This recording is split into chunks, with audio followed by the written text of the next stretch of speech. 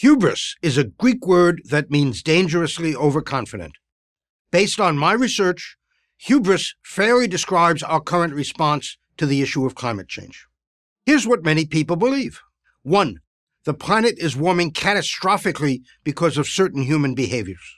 Two, thanks to powerful computers, we can project what the climate will be like 20, 40, or even 100 years from now. And three, that if we eliminate just one behavior, the burning of fossil fuels, we can prevent the climate from changing for as long as we like. Each of these presumptions, together the basis of our hubris regarding the changing climate, is either untrue or so far off the mark as to be useless. Yes, it's true that the globe is warming, and that humans are exerting a warming influence upon it.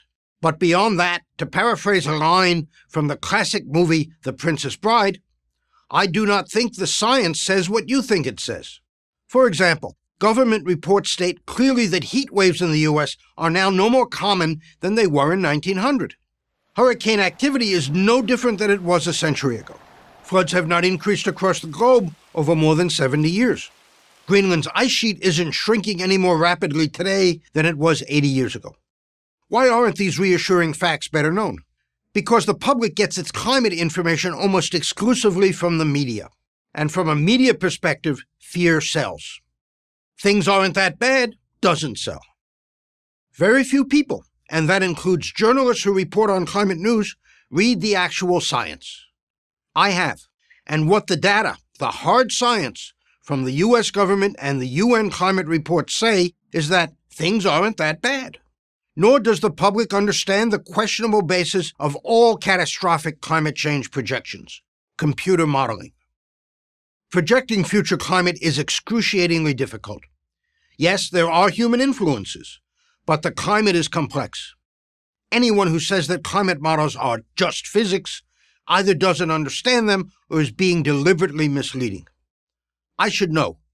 I wrote one of the first textbooks on computer modeling. While modelers base their assumptions upon both fundamental physical laws and observations of the climate, there's still considerable judgment involved. And since different modelers will make different assumptions, results vary widely among different models.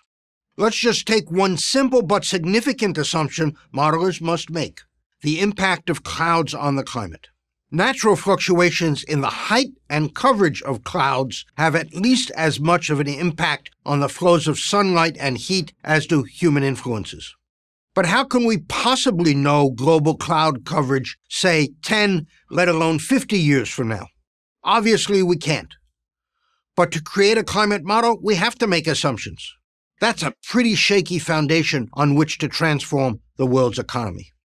And by the way, creating more accurate models isn't getting any easier. In fact, the more we learn about the climate system, the more we realize how complex it is. Rather than admit this complexity, the media, the politicians, and a good portion of the climate science community attribute every terrible storm, every flood, every major fire to climate change. Yes, we've always had these weather events in the past, the narrative goes, but somehow climate change is making everything worse. Even if that were true, isn't the relevant question how much worse? Not to mention that worse is not exactly a scientific term. And how would we make it better? For the alarmists, that's easy. We get rid of fossil fuels. Not only is this impractical, we get over 80% of the world's energy from fossil fuels. It's not scientifically possible. That's because CO2 doesn't disappear from the atmosphere in a few days, like, say, smog it hangs around for a really long time. About 60% of any CO2 that we emit today will remain in the atmosphere 20 years from now. Between 30 and 55% will still be there after a century, and between 15 and 30% will remain after a thousand years. In other words, it takes centuries for the excess carbon dioxide to vanish from the atmosphere. And so any partial reduction in carbon dioxide emissions would only slow the increase in human influences, not prevent it, let alone reverse it. CO2 is not a knob that we can just turn down to fix everything. We don't have that ability. To think that we do is, well, hubris. Hubris leads to bad decisions. A little humility and a little knowledge would lead to better ones. I'm Steve Koonin, former Undersecretary for Science in the Obama administration and author of Unsettled What Climate Science Tells Us, What It Doesn't, and Why It Matters for Prager University. Thank you for watching this video. To keep PragerU videos free, please consider making a tax-deductible donation.